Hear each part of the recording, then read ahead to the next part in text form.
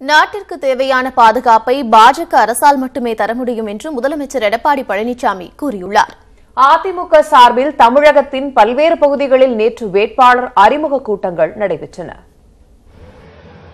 சேலம் மக்களவைத் தொகுதியில் அதிமுக சார்பில் போட்டியிடும் வேட்பாளர் சரவணன் அறிமுக கூட்டம் கொண்டலாடம்பட்டியில் நடைபெற்றது. இந்த நிகழ்ச்சியில் பங்கேற்று வேட்பாளரை அறிமுகம் செய்து வைத்து பேசிய முதலமைச்சர் எடப்பாடி பழனிசாமி நாட்டிற்கு உரிய பாதுகாப்பை பாஜக அரசால் மட்டுமே கொடுக்க முடியும் என்று கூறினார். மத்தியிலும் மாநிலத்திலும் ஒரே எண்ணம் கொண்ட ஆட்சி அமைந்தால் மட்டுமே தமிழகம் வளம் பெறும் எனவும் அவர் தெரிவித்தார்.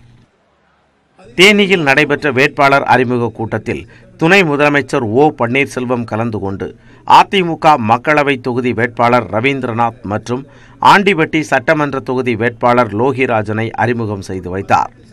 அப்போது பேசிய ஓ பன்னீர்செல்வம் கட்சிக்கு துரோகம் செய்தவர்கள் இப்போது தெரு தெருவாக அலைந்து கொண்டிருப்பதாக கூறினார். அதிமுகவிலிருந்து பிரிந்து சென்று சாதி கட்சி தொடங்கியவர்கள் வெற்றி பெற முடியாது என்றும் ஓபிஎஸ் கூறினார். தொண்டராக இருந்தவரை தலைவராக சட்டமன்ற உறுப்பினராக நாடாளுமன்ற உறுப்பினராக நிலைநிறுத்திய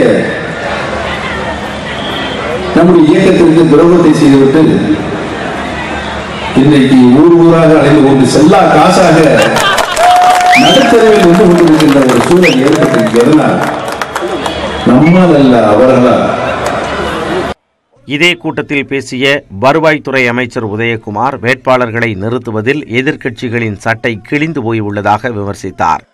திருப்பூர் நாடாளுமன்ற வேட்பாளர் எம். எஸ். எம். ஆனந்தனை ஆதரித்து வாக்கு சேகரித்த பள்ளி கல்வித்துறை அமைச்சர் செங்கோட்டையன் திருப்பூர் மாநகரை சிங்கப்பூர் போல் உருவாக்குவதே இந்த அரசின் நோக்கம் என்று கூறினார்.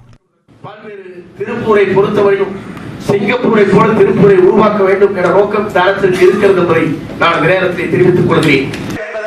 நாமக்கல் மாவட்டம் ராசிபுரத்தில் நடைபெற்ற வேட்பாளர் அறிமுக கூட்டத்தில் கலந்து கொண்டு பேசிய அமைச்சர் தங்கமணி திமுகவை அழிப்பதற்கான தேர்தல் இது என்றும் தங்கள் கூட்டணிக்குள் குழப்பத்தை ஏற்படுத்த முயன்ற திமுக அதில் தோற்றுவிட்டதாகவும் கூறினார்.